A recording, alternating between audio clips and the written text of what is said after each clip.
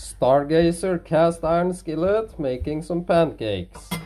Milk, eggs, flour, a little sugar, cinnamon, and a little butter. Non-stick as